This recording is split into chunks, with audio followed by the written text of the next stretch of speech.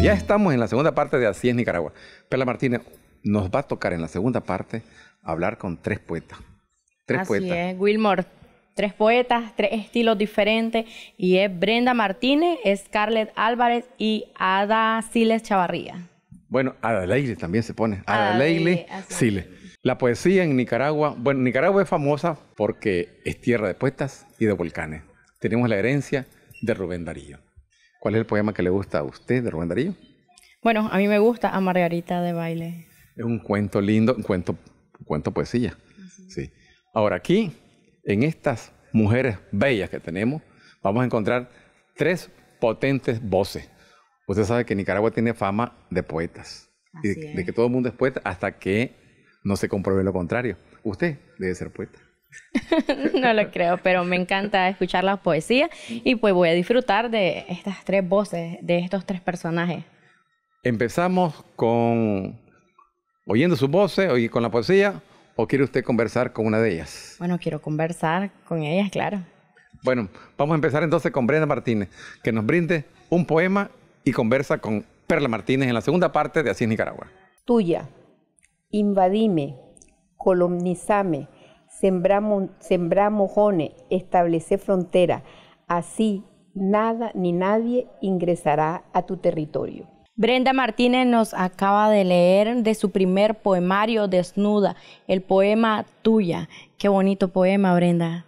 Bueno, celebro Perla que le haya gustado, porque a mí también me gusta mucho. En mis manos tengo sus tres libros, Desnuda, Vestida y el otro que se llama Desnuda, Vestida y Entrevelos. Qué bonitos nombres. Sí, desnuda el primero porque después de muchos años de escribir me desnudé por primera vez emocionalmente. El segundo se llama vestida porque me vestí de un montón de emociones tristes, pues, que murieron tres hermanos. Y entonces, bueno, fueron emociones tristes. Y el tercero es una antología, versos de desnuda, de vestida y 22 versos nuevos que se llaman entrevelo porque digo las cosas de manera velada. Brenda, me gustaría que nos leyera un poema de su segundo libro, Vestida. como un vendaval. Y llegaste a mí, abriéndote camino contra viento y marea, repleto de cuentos y leyendas, sacando lo oscuro, lo triste, borrando el miedo, difuminando las ramas de mis pupilas. Llegaste así, chorreando letras, chorreando cielo, chorreando sueños, chorreándote. Usted se caracteriza por escribir poemas cortos. Y bueno, también veo como bastante intimista, ya que el primero me gustó bastante. Esto siempre en sus tres libros y me comentaba que hay un cuarto libro. Algo que vamos a seguir viendo, que usted escribe poemas cortos. Sí, yo apuesto por el poema corto, fíjate, me gusta decir mucho en una extensión poca de un poema. Eso no quiere decir, tengo muy pocos, unos que son un poco más largos, pero a mí desde que empecé a escribir sí me, me gusta el poema corto, me parece, no necesariamente tiene que ser de dos líneas, pero corto me parece que es, fuerte, es impactante y que no es fácil escribir el poema corto, precisamente por eso, por, por decir mucho en pocas letras. El, el poema más largo yo en realidad lo siento más fácil. ¿Usted considera que un poeta nace o se hace? Y pues, ¿qué nos puede decir de usted? ¿Usted se considera que ya nació o fue por medio de la escuela? Yo creo que, que nací. Casualmente un poco, un momento antes que vinieran ustedes, yo les comentaba a las dos jóvenes poetas que yo a los nueve años gané un certamen de poesía de Rubén Darío y a los nueve años yo ya había leído muchísimo sobre la vida y obra de Rubén Darío.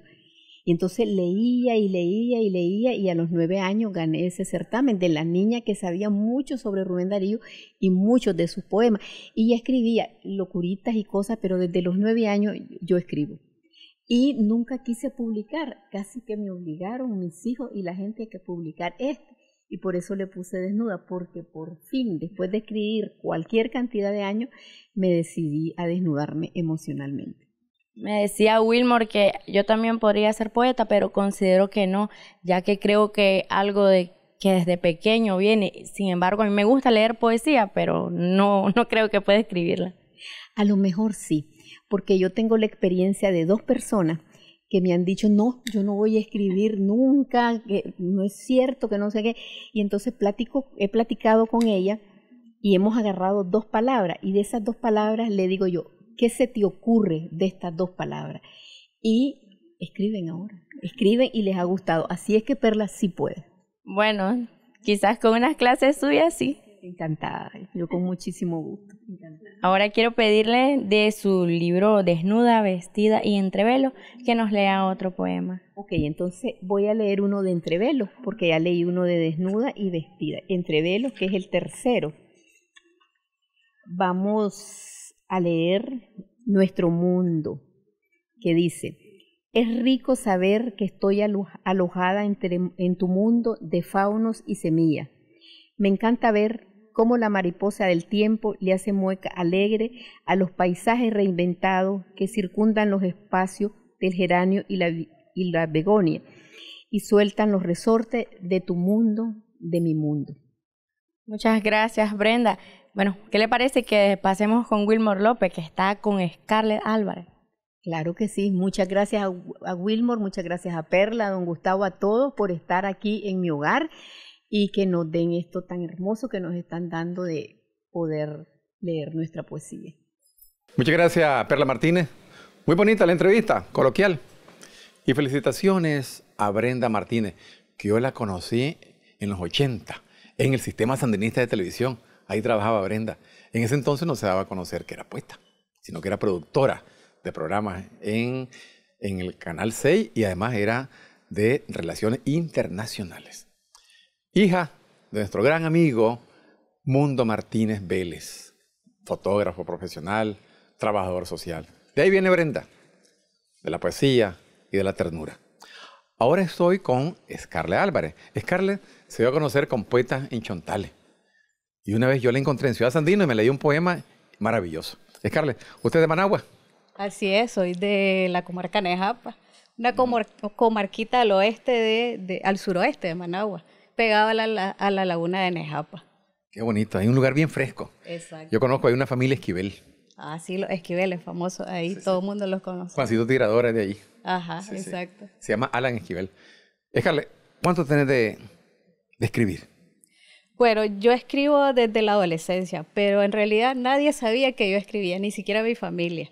Entonces, en el 2021 eh, sufro un accidente y empiezo a estar en reposo. Y es ahí donde me dedico a, revisar todos esos escritos que tenía anteriormente y decido participar en, unos jueves literarios que hacen en Chontales, famosos esos jueves literarios. Y ahí me encuentro con un grupo de poetas de Chontales. Y decidimos que entre todos íbamos a formar la Casa de los Poetas. Y ahí es donde me he promovido, eh, ahí es donde he encontrado... ¿Qué año, qué año, qué año, 2021, 2021. Ah, pero ve como buen suceso.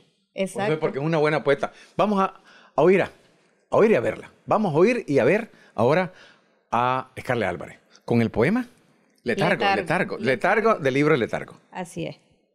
Despierta ya del letargo que han provocado tus miedos, ese estado inconsciente que adormece el presente, donde el reloj avanza y tu rostro se estanca en la esperanza perdida de una vida sin salida, mientras la onírica silueta de tu propio engaño alimenta el ego cáscara que se debilita a regaño, con el rudo tiempo, con el viejo canto, que te dice, ya no aguanto. Scarlett Álvarez ha participado también en un, puedo decir, un concurso con la Fundación de Poeta Órbita y ganó el segundo lugar, o mención. Mención de honor. mención de honor. ¿Ese libro va a salir? Bueno, esperemos este año eh, poder publicarlo. ¿Qué te motiva en estos últimos años escribir? Bueno, eh, hay, hay una parte sentimental en mí. O sea, siento que hay una sensibilidad en todo lo que estoy viviendo. Realmente, como le dije, después del accidente, siento que eh, renací y ahí es donde cada cosa que está a mi alrededor la siento, eh, o sea, la siento más cercana, la, la, vivo más que nunca y trato de plasmar lo que yo siento en, eso, en esa poesía. Y espero eh, de alguna manera que algunos se reconozcan en esa poesía que escribo también. Parece bien. Me gustaría entonces un poema chiquito del libro que viene en, camino. Exacto. Eh, lleva por título Ignominia. Rostros anónimos, ignorando su historia, su origen, ante las pestañas de fuego ardiente, repiten costumbres ajenas. El conquistador aparece otra vez, haciendo de las suyas, pero ahora sin cruz ni espada. Se presenta tras una pantalla.